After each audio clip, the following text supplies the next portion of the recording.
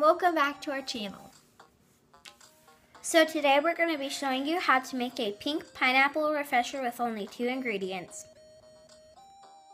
So the first thing you'll need is pink lemonade. We're using the Crystal Light kind and some pineapple juice. Then we put our juices in the blender and blend it.